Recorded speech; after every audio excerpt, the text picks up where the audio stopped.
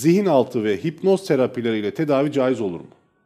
Şimdi e, bu bahsettiğiniz e, mesele e, aslında e, kişinin geçmişte yaşamış olduğu bir olay karşısında kendini suçlaması e, ve bu suçlamayı belli bir zaman sonra takıntı haline getirmesi ve bunun vesvese haline sevk ederek bir hasta niteliğine ulaşması. Yani şöyle yapsaydım bu olmayacaktı, niye yapmadım?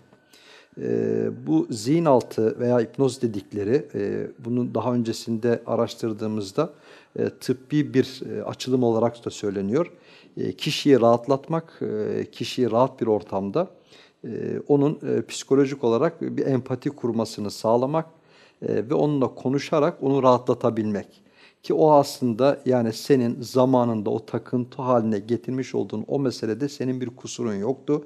Sen orada bir şey yapsaydın da sonuç değişmeyecekti, aynı olacaktı diyerek onu o takıntıdan, o zihninde var olan o psikolojik problemden onu kurtarmaya yönü.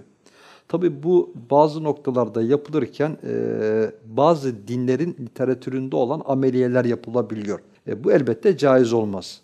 Ama sadece mücerret yani onunla işte e, konuşarak, konuşma seanslarıyla onu rahatlatmak, şuurunu elinden almamak. Çünkü hipnozda bazen şuur tamamıyla kayıp olabiliyor.